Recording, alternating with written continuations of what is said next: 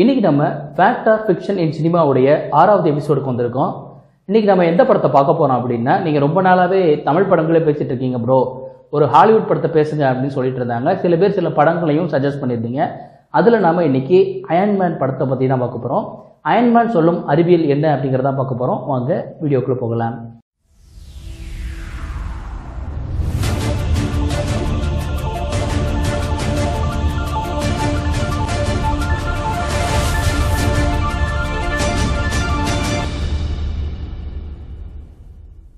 Iron Man திரைப்படத்தில் அயன்மேனோடைய சூட்டுக்கு power கொடுக்கறது அந்த ஆர்க் ரியாக்டர் தான்.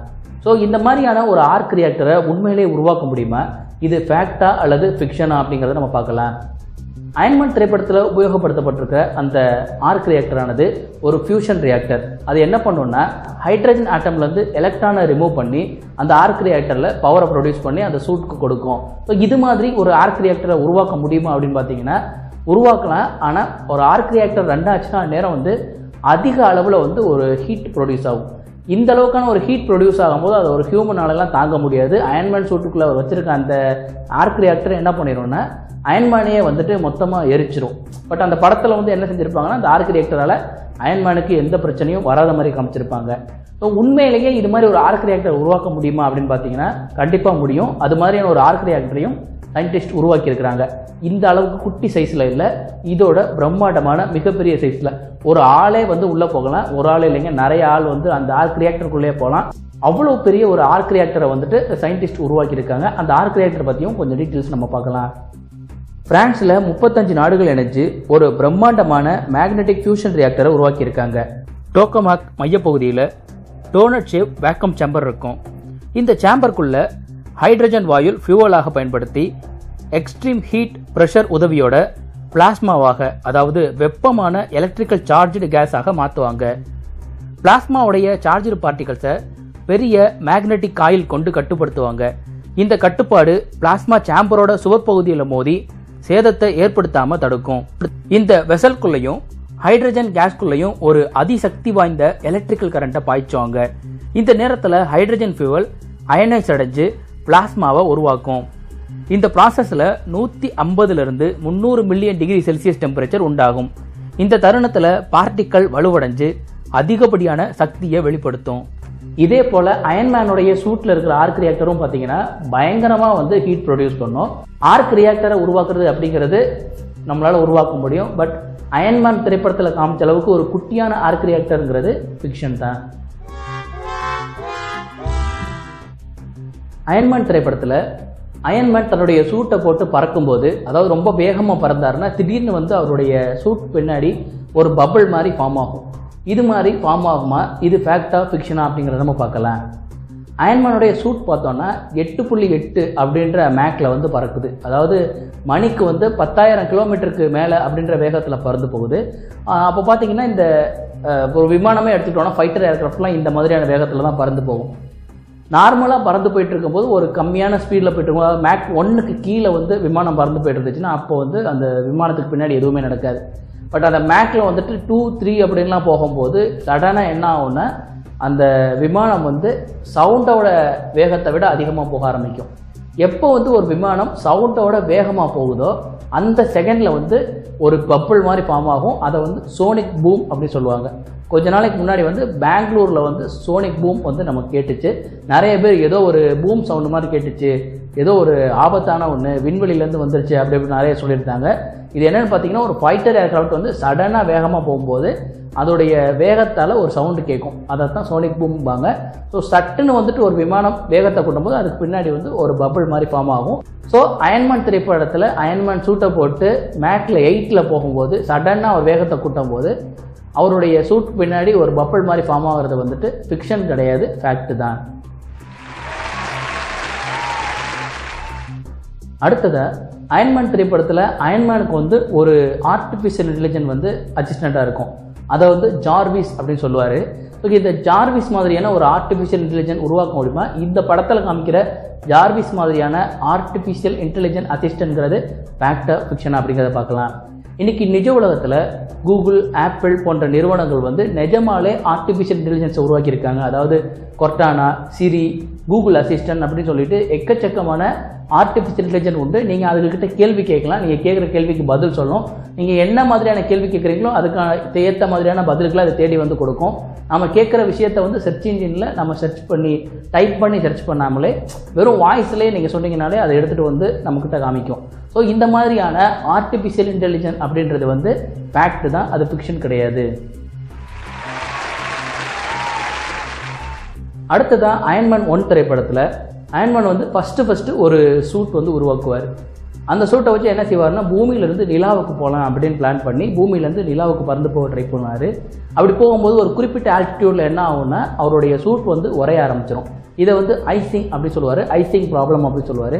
உண்மையிலேயே வந்து ஒரு சூட் எடுத்து நம்ம பறந்து போனோம்னா ஐசிங் ப்ராப்ளத்தை சந்திக்குமா அப்படின்னு நம்ம பார்க்கலாம். விண்வெளியில் நம்மளுடைய பூமியை விட்டு ஹைட் அதிகமாக போக போக என்ன ஆகும்னா டெம்பரேச்சர் வந்து கொஞ்சம் கொஞ்சமாக குறைஞ்சிக்கிட்டே வரும். நீங்கள் வந்துட்டு மலைக்கு போனீங்கன்னா என்ன ஆகும்னா தரையில் இருக்கிறத விட மலையில் வந்து டெம்பரேச்சர் கம்மியாக இருக்கும். இதனால தான் இமயமலயத்தில் பார்த்தீங்கன்னா டெம்பரேச்சர் வந்து கம்மியாக இருந்து அங்கே உரை பனியை நம்மளால் பார்க்க முடியுது. ஸோ இது மாதிரி நீங்கள் ஹைட் மேலே போக போக போக என்ன ஆகும்னா டெம்பரேச்சர் குறைஞ்சிக்கிட்டே போகும். இதனால தான் அயன்மேன் சூட் என்ன ஆகும்னா அந்த ஐசிங் ப்ராப்ளத்தை சந்திக்கும். ஃபர்ஸ்ட் டைம் வந்து அவர் அந்த அயன்மேன் சூட்டை போட்டு போகும்போது இந்த ஐசிங் ப்ராப்ளம் சந்திப்பார். அதுக்கப்புறமா பார்த்தீங்கன்னா வேற ஒரு அலாய்க்கு மாறுவார் அப்போ வந்து எந்த பிரச்சனையும் வராது. இந்த ரெண்டு விதமான அலாய் என்ன அப்படின்னு நம்ம பார்க்கலாம். ஃபஸ்ட்டு அயன்மேன் யூஸ் பண்ண அந்த சூட்டோடைய அலாய் என்னன்னு பார்த்தீங்கன்னா குரோமுடு டைட்டானியம் அலாய் யூஸ் பண்ணியிருப்பார் இந்த அலாயை அவர் பயன்படுத்திட்டு மேலே போகும்போது பார்த்தீங்கன்னா ஐசிங் ப்ராப்ளத்தை சந்திக்கும். அடுத்தது அவர் என்ன பண்ணுவார்னா கோல்டையும் டைட்டானியத்தையும் மிக்ஸ் பண்ண ஒரு ஆளாயை பயன்படுத்துவார். இந்த இந்த ஷூட் வந்து விண்வெளிக்கு போகும்போது அவருக்கு எந்த பாதிப்பும் ஏற்படுத்தாது. ஐசிங் ப்ராப்ளத்தை சந்திக்காது. அந்த படத்துலேயே நீங்கள் அப்படி ஒரு காட்சியும் பார்க்க முடியும். அவர் ரெண்டாவது தடவை அந்த ஷூட் போட்டுட்டு மேலே பறந்து போவார். அப்போ அவருக்கு வந்துட்டு எந்த பிரச்சனையும் வராது. இப்போ உண்மையிலேயே கோல்டையும் டைட்டானியத்தையும் பயன்படுத்தினா ஐசிங் ப்ராப்ளம் வராதா அப்படின்னு பார்த்தீங்கன்னா நிச்சயமாக வராது. நம்ம விண்வெளியில் பறந்துட்டு இருக்கிற நம்மளுடைய சேட்டலைட்டுகள் எல்லாமே கோல்டு மற்றும் டைட்டானியம் அலையால் உருவாக்கப்பட்டிருக்கு. இதை ஏன் நம்ம உருவாக்குறோம் அப்படின்னு பார்த்தீங்கன்னா ரெண்டு விதமான எக்ஸ்ட்ரீம் டெம்பரேச்சரையும் இதால் தாங்க முடியும். உதாரணத்துக்கு ஒரு லோயர் டெம்பரேச்சரையும் அதால் தாங்க முடியும். ஹையர் டெம்பரேச்சரையும் அந்த அலையால் தாங்க முடியும். அதனால தான் ஆன்மான் திரைப்படத்தில் அவர் கோல்டு மற்றும் டைட்டானியம் கலந்த ஒரு அலாயை பயன்படுத்துவார். ஸோ ஐசிங் ப்ராப்ளம் ஹைட்டில் போகும்போது வருது அப்படிங்கிறது ஃபேக்ட் அடுத்ததாக அயன்மேனுடைய செகண்ட் பார்ட்டில் அயன்மேன் வந்து ஒரு புது எலமெண்ட்டை கண்டுபிடிப்பார். அதாவது ஒரு அவருடைய அப்பா வந்து ஒரு அட்டாமிக் ஸ்ட்ரக்சரை வந்து அவர் கொடுத்துருப்பாரு. அந்த அட்டாமிக் ஸ்ட்ரக்சரை வச்சு ஒரு நியூ எலமெண்ட்டை அயன்மேன் கிரியேட் பண்ணுவார். அட்டாமிக் ஸ்ட்ரக்சர் வச்சு ஒரு எலமெண்ட்டை கண்டுபிடிக்க முடியுமா? அதே போல் ஒரு புது எலமெண்ட்டை நம்மளால் உருவாக்க முடியுமா அப்படிங்கிறதையும் பார்க்கலாம். அட்டாமிக் ஸ்ட்ரக்சர் வச்சு ஒரு எலமெண்ட்டை நம்மளால் கண்டுபிடிக்க முடியும். நம்ம ஏற்கனவே இதை ஃபாலோ பண்ணிட்டு தான் இருக்கோம். கார்பனுடைய அட்டாமிக் ஸ்ட்ரக்சர் இப்படி தான் இருக்கும்? இதே போல் கோல்டுடைய அட்டாமிக் ஸ்ட்ரக்சர் இப்படி தான் இருக்கும்? இந்த மாதிரி ஒவ்வொரு எலமெண்ட்டுக்கும் ஒவ்வொரு அட்டாமிக் ஸ்ட்ரக்சருக்கு இது நம்ம ஏற்கனவே ரொம்ப வருஷத்துக்கு முன்னாடி கண்டுபிடிச்சிட்டோம். ஒரு அட்டாமிக் ஸ்ட்ரக்சரை வச்சு அது என்ன எலமெண்ட் அப்படிங்கிறத ஒரு கெமிஸ்ட்ரி படித்தவரால் சொல்ல முடியும். ஸோ இப்போ பார்த்தீங்கன்னா இந்த திரைப்படத்தில் அட்டாமிக் ஸ்ட்ரக்சர் வச்சு ஒரு எலமெண்ட் அவர் கண்டுபிடிப்பார். இப்படி இருக்குது அப்படிங்கிறத. அடுத்ததாக அந்த புது எலமெண்ட்டை உருவாக்குறதுக்கு ஒரு மெத்தட் ஃபாலோ பண்ணுவார். அது என்ன அப்படின்னு பார்த்தீங்கன்னா பார்ட்டிகல் அசலரேட்டர் மற்றும் நியூக்ளியர் ரியாக்ஷனை வச்சு ஒரு புது எலமெண்ட்டை அயன்மேன் உருவாக்குவார். இது மாதிரி ஒரு புது எலமெண்ட்டை உருவாக்க முடியுமா அப்படின்னு பார்த்தீங்கன்னா நிச்சயமாக முடியும். ஏற்கனவே நாம் உருவாக்கின பல புது எலமெண்ட்டுகள் எல்லாமே இந்த மாதிரியான மெத்தடில் தான் நம்ம உருவாக்கியிருக்கோம். அதாவது ஏற்கனவே பூமியில் நேச்சுரலாக அப்படி ஒரு எலமெண்ட் இருக்காது.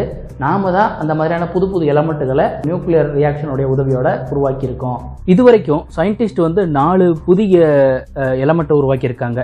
நிகோனியம் மாஸ்கோவியம் டெனசன் அகுனசன் அப்படின்றது அந்த நாலு எலமெண்ட் இந்த நாலு எலமெண்ட்டையும் டிசம்பர் ரெண்டாயிரத்தி பதினாறாவது ஆண்டுக்கு அப்புறமா பீரியாடிக் டேபிள்லையும் இணைச்சிருக்காங்க. இந்த திரைப்படத்தில் சொல்லப்பட்டது போல அட்டாமிக் ஸ்ட்ரக்சர் வச்சு ஒரு எலமெண்ட்டை நம்மளால் கண்டுபிடிக்கவும் முடியும். நியூக்ளியர் ரியாக்டரை வச்சு நம்மளால் ஒரு புது ஒரு எலமெண்ட்டை உருவாக்க முடியும். இது இந்த திரைப்படத்தில் காமிச்சது ஃபேக்ட் அடுத்ததாக அயன்மேன் சூட்டில் பார்த்தீங்கன்னா எக்கச்சக்கமான வெப்பன்ஸ் இருக்கும். இந்த மாதிரி எக்கச்சக்கமான வெப்பன்ஸை நம்மளால் வைக்க முடியுமா? அதை பற்றி நம்ம பார்க்கலாம். இது ஃபேக்டா ஃபிக்ஷனா அப்படிங்கிறதையும் நம்ம பார்க்கலாம். ஒரு ஃபைட்டர் ஏர்க்ராஃப்டை எடுத்துக்கிட்டோம் அப்படின்னு பார்த்தீங்கன்னா அதுக்கு வந்துட்டு பேலோடு அப்படின்னு சொல்லிட்டு சொல்லுவோம். அதாவது ஒரு ஃபைட்டர் ஏர்க்ராஃப்டில் இவ்வளோ தான் வந்து நம்ம என்ன பண்ணணும்னா லோடு ஏற்றணும் அப்படின்னு சொல்லிட்டு ஒரு அளவு இருக்குது அந்த அளவை விட நம்ம அதிகமாக வந்து அதில் ஏற்றினோன்னா ஃபைட்டர் ஏர்க்ராஃப்டால் நம்ம எதிர்பார்க்குற வேகத்தில் போகவும் முடியாது. அதால் வந்துட்டு ஸ்டேபிளாக இருக்கவும் பறக்கவும் முடியாது. பட் eh, இப்போ அயன்மேன் திரைப்படத்தில் பார்த்தீங்கன்னா அவருடைய அந்த தம்மா துண்டு சூட்லேயே பார்த்தீங்கன்னா எக்கச்சக்கமான வெப்பன்ஸ் இருக்கும். அதுவும் அன்லிமிட்டெட் வெப்பன்ஸ் அதில் இருக்கிற மாதிரி காமிச்சிருப்பாங்க. ஸோ இந்த மாதிரியான ஒரு அன்லிமிட்டெட் வெப்பனை ஒரு பறக்கிற பொருட்களை நம்மளால் வைக்க முடியுமா அப்படின்னு பார்த்தீங்கன்னா வைக்க முடியாது. ஸோ இந்த திரைப்படத்தில் காமிச்ச மாதிரி அயன்மானுடைய சூட்டில் எக்கச்சக்கமான வெப்பன் இருக்கிறது வந்து ஒரு ஃபிக்ஷன் இதுவரைக்கும் நம்ம பார்த்த பல திரைப்படங்களில் இந்த அயன்மேன் திரைப்படம் பார்த்தீங்கன்னா அறிவியலுக்கு வந்து ரொம்ப ரொம்ப நெருக்கத்தில் வந்து உருவாக்கப்பட்ட ஒரு படம். இந்த அயன்மேன் திரைப்படத்தில் உள்ள எந்த சீரியஸ் எடுத்துக்கிட்டாலும் நம்மளால் அறிவியல் உலகத்தில் நிஜத்திலே இருக்கிற பல விஷயங்களை பற்றி தெரிஞ்சுக்க முடியும். ரொம்ப புரிகிற மாதிரியும் எளிமையாகவும் இந்த படத்தில் வந்து காட்சிகளில் அமைச்சிருப்பாங்க. ஸோ இந்த அயன்மேன் மாதிரியான ஒரு சயின்ஸ் ஃபிக்ஷன் திரைப்படம் நம்ம தமிழ்லேயும் வந்தால் சிறப்பாக இருக்கும். வேறு ஒரு சுவாரஸ்யமான வீடியோவில் உங்களை மறுபடியும் சந்திக்கிறேன். தேங்க்யூ